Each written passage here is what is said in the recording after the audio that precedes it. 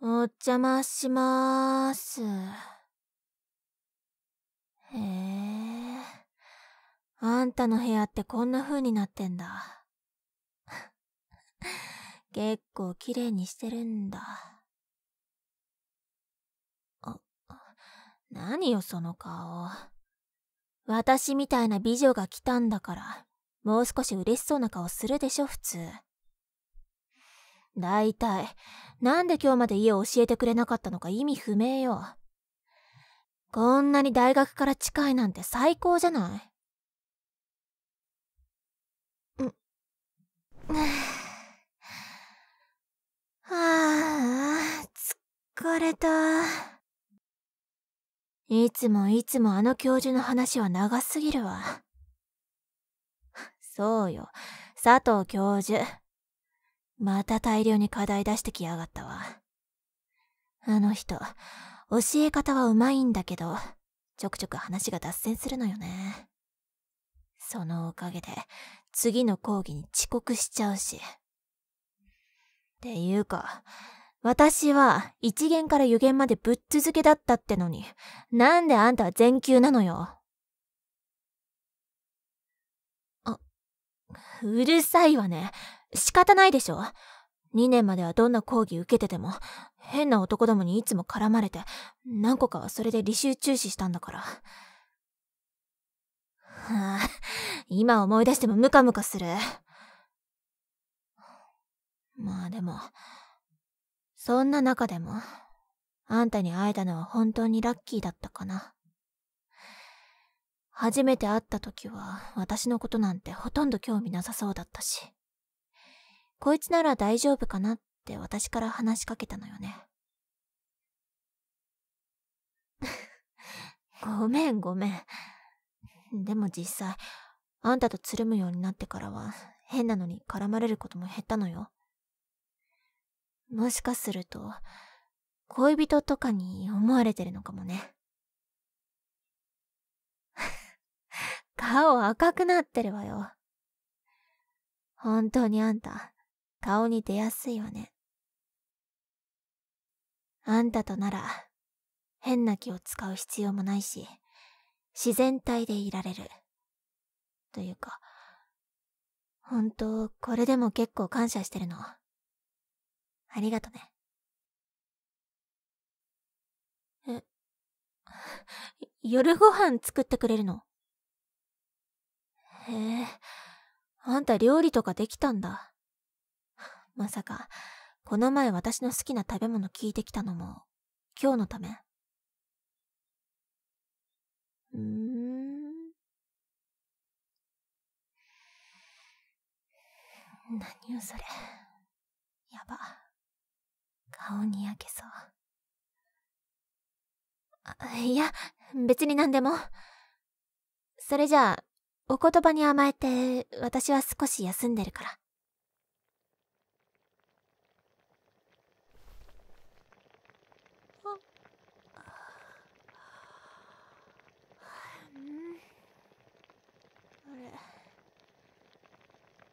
寝ちゃってたんだ。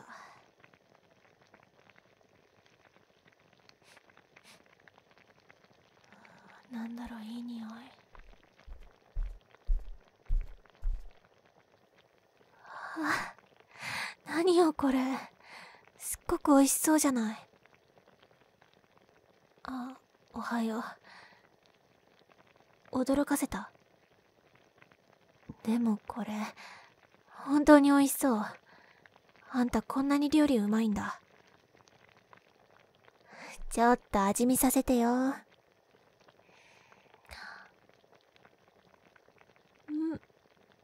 美味しい。何これ。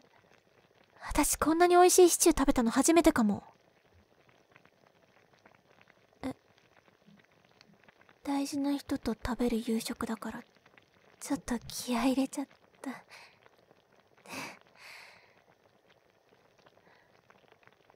ああもう嫌だもう抑えるの無理そうだから言うわ好きあんたのことあで、ちょっと危ないわね。包丁とかあるんだから気をつけなさいよ。それに、せっかくのごちそうが台無しになったら大変じゃない。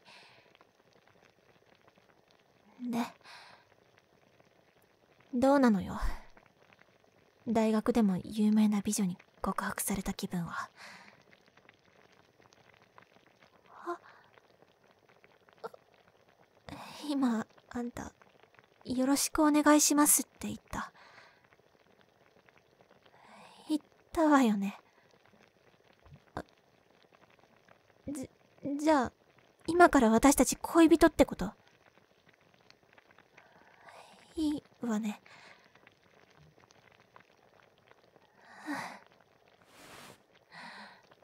もう我慢しなくていいんだ。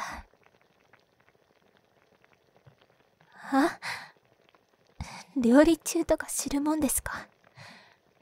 あんた、私がどれだけお預け食らってたか知らないでしょ。今だって、私のためにこんなに美味しい料理作ってくれちゃって。それに、エプロン姿とか。何あんた誘ってんの？あざとすぎ。今まで我慢してたのに、褒めてほしいくらいよ。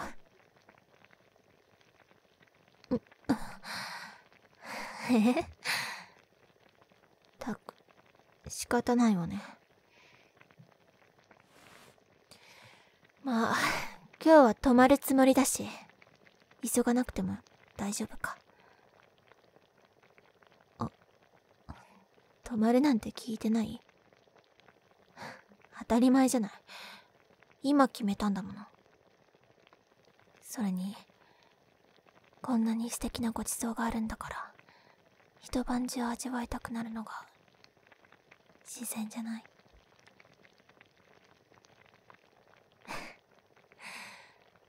覚悟しなさいよ。今まで貯めてきたもの全部吐き出してやるんだから。